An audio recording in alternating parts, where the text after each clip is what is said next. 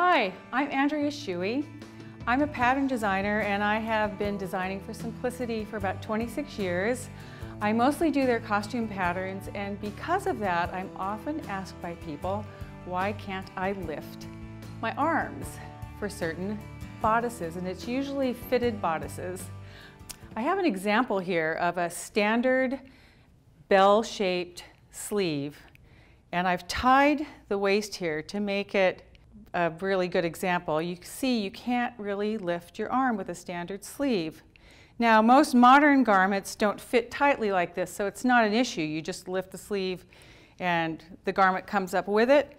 But with a fitted bodice you're not going to have very much sleeve modification with a modern sleeve. If, if you look at these pieces, this is the standard shape for the front of an arm, armscye and the back of an armscye. And this is your standard sleeve pattern that's low in the armpit, high at the shoulder, and back down low at the armpit. So I'm going to show you some things you can do to this modern pattern to give yourself a little more arm mobility. So this is the same bodice I showed you before without the sleeves. So you can take a look at how low this armscye is. This metal plate represents what the actual arm is, and you can see that the stitching line here is about an inch and a quarter below the armscye. Now what I'm going to do is I'm going to take a piece of muslin here and pin it to this bodice and I'm going to mark in I'm going to mark in where this original stitching line is. And then I'm going to mark up here where I would like the sleeve to be.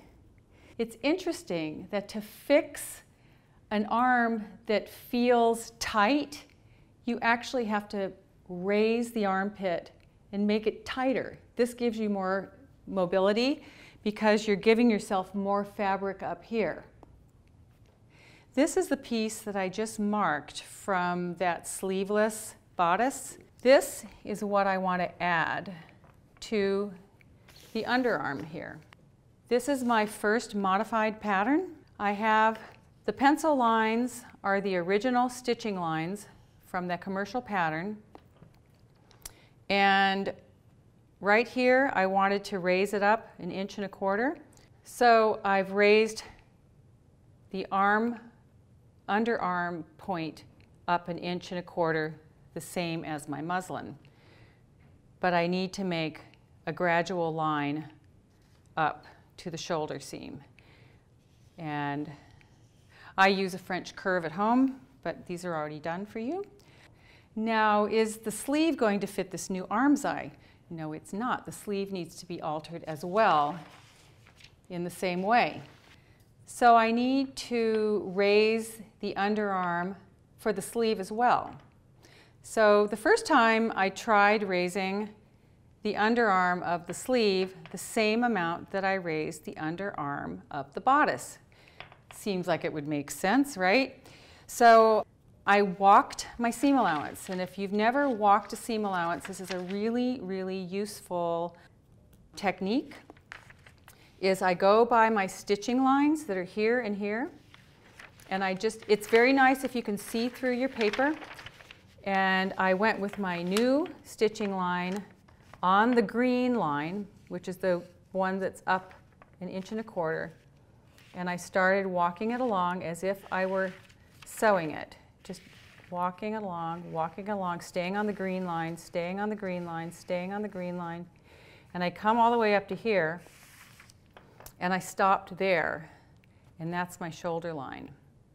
And this pattern is allowing a half an inch of ease, but this is going to be way too much ease. The sleeve is not going to fit well. Hmm, so I said I need my sleeve seam a little smaller. So I decided to raise it up even more. And this time I raised it up two inches and I'm going to walk my second choice, which is same thing, walking along the stitching line, checking. And indeed, it brought it almost to the point I want. So I have come up with a rule of thumb for when doing this. If you're going to raise the underarm of your bodice, you need to raise the underarm of the sleeve about twice as much, and they will almost always fit.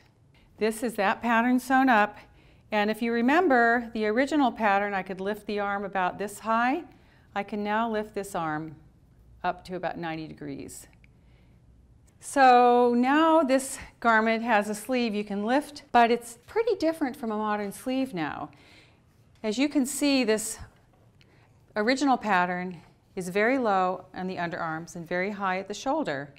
But this one I've modified has become straighter. It looks kind of like a man's shirt sleeve pattern, but interestingly, it looks very much like sleeves were cut about 100, 120 years ago.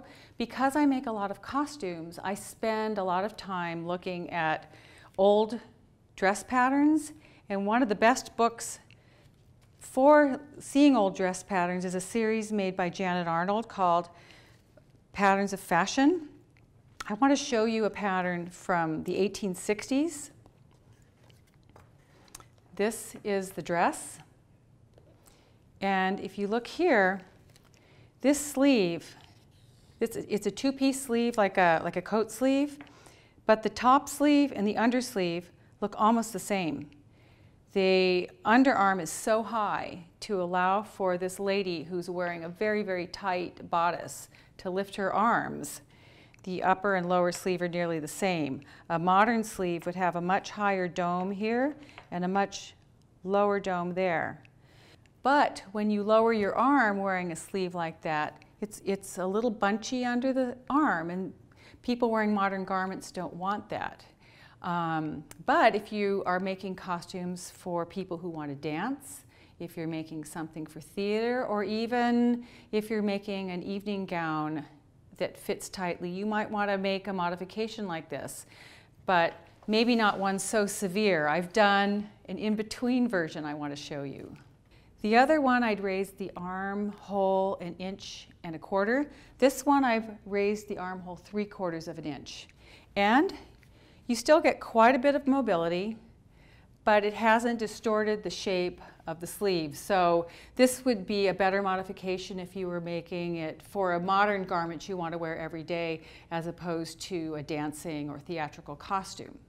Here are the pattern pieces. The purple line I've raised up three quarters of an inch on the back bodice, and I've raised the front bodice also three quarters of an inch, so they're the same. And I used my rule of thumb. I have raised the underarm of the sleeve double what I raised the underarm for the bodice. So I walked my pattern pieces like I showed you on the other one, and the armscye is just the right size for the sleeve. What happens if your garment's already finished and you can't lift your arms and you want to dance in this or some other thing? What do you do? Well, I'm going to give you some ideas. First of all, the first thing you can do is pull out your stitching.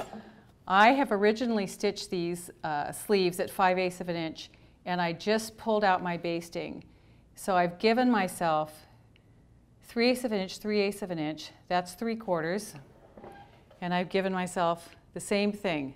So I've just, by, by letting that 5 eighths inch seam out to a quarter of an inch, I've already given myself quite a bit of extra mobility this way and that way.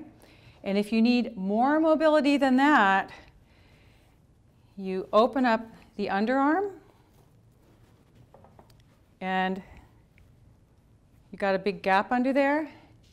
And this is when we put in a gusset. A lot of people make gussets that are little diamonds, um, but I've developed this kind of curved oyster-shaped gusset. Um, I've used it in a lot of my own personal theatrical costumes, and it gives you a really nice uh, bit of mobility under your arm um, and helps it lay smoother when your arm is down. I now have the gusset sewn into the sleeve and you can see actually this, this offers an incredible amount of mobility. You put the arm down, it still has the nice drape of a modern sleeve and it's a wonderful trick. So you can make a gusset like this. It's about three inches high. It's about six or seven inches across. And just, you know, it's just a gradual curve. And just remember that since we've let the sleeves seam out, so it's only a quarter of an inch now, you're going to be sewing in this gusset with a quarter of an inch. And it actually fits better with that smaller seam allowance. So I hope I have helped you all with sleeve and arm mobility because we do need to lift our arms in life, don't we?